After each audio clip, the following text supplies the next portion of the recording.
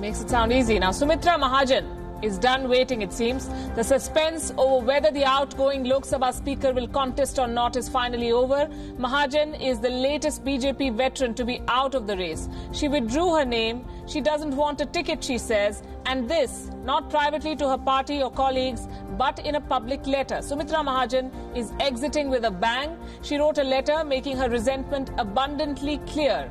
Here is what she said, and I'm quoting The BJP has not declared its candidate from Indore. Why this state of indecision? Maybe the party is hesitating, even though I had a discussion with the leadership and left the decision to them. It seems they still have reservations, so I declare that I will not contest Lok Sabha elections. So the party is free to decide without any hesitation. Party ने बहुत कुछ मुझे दिया और आज भी मैं party की कार्यकर्ता हूँ। चुनाव में बिल्कुल जी जान से हम सभी मिल करके चुनाव लड़ेंगे। मगर कुछ निर्णय लेने में अगर संकोच किसी कारण से होता हो तो वो मेरी तरफ़ से मैंने कह दिया संकोच मत करो नहीं लड़ूँगी मैं आप निर्णय करो। She's going to be 76 years old this year. With this, Sumitra Mahajan has joined a growing list of BJP veterans who have been benched for this election. She has been elected eight times from her constituency of Indore. At least five names are now in contention to replace her.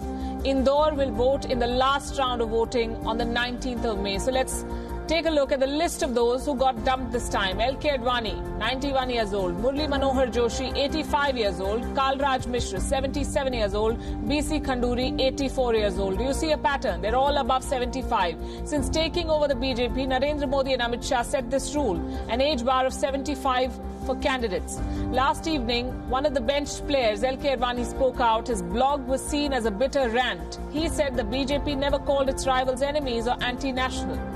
The Prime Minister tried to blunt that by saying that he approved of Mr. Advani's statement. He shared this blog on Twitter and said, and I'm quoting, Advani ji perfectly sums up the true essence of the BJP, most notably the guiding mantra of nation first, party next, self last.